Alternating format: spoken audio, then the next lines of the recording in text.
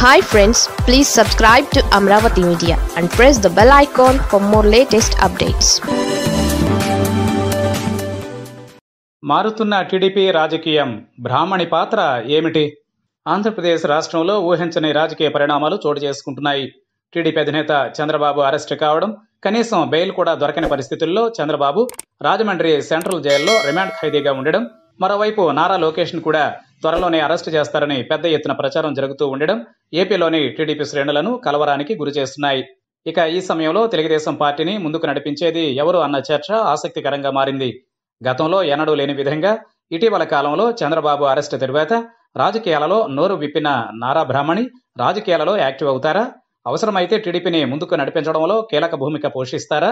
అన్న చర్చ ఇప్పుడు ఏపీలో జరుగుతోంది. చంద్రబాబు అరెస్టుకు వ్యతిరేకంగా ఎంతో మంది సంఘీభావం తెలుపుతూ రాజకీయ నాయకులు ప్రజా సంఘాల నేతలు ఐటీ ఉద్యోగులు నారా బ్రాహ్మణిని కలుస్తున్న విషయం తెలిసిందే.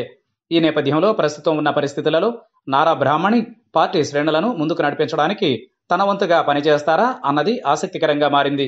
నారా భువనేశ్వరి చంద్రబాబు అరెస్టు తరువాత మాట్లాడుతున్నప్పటికీ చంద్రబాబు బెయిల్పై బయటకు రాకపోవడంతో తీవ్ర మనస్తాపంతో ఉన్న నారా భువనేశ్వరికి ధైర్యం చెబుతూనే నారా బ్రాహ్మణి పార్టీ విషయాల్లో కూడా చురుగ్గా వ్యవహరిస్తున్నారని వార్తలు వస్తున్నాయి.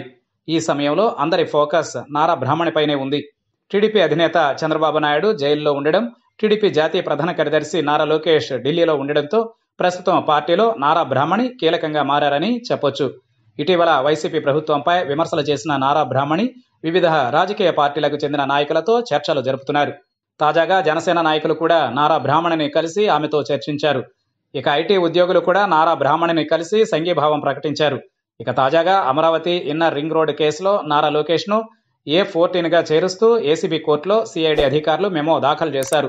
ఇటు స్కిల్ స్కామ్లో కూడా త్వరలో నారా లోకేష్ అరెస్ట్ జరుగుతుంది అన్న వార్తల నేపథ్యంలో నారా బ్రాహ్మణి చుట్టూ తెలుగుదేశం పార్టీ రాజకీయం తిరుగుతోంది.